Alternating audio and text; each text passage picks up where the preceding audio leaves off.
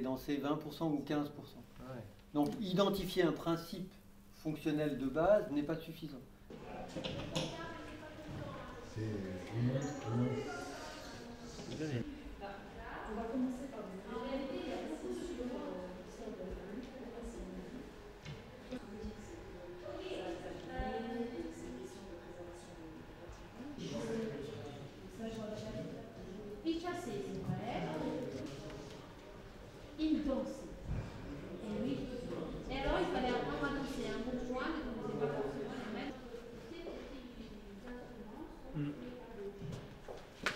Du résultat, la vidéo-endoscopie a été une des étapes, c'est la première qu'on a réalisée.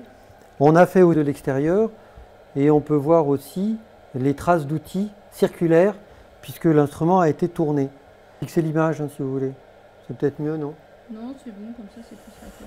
Et c'est possible de refaire dans l'autre?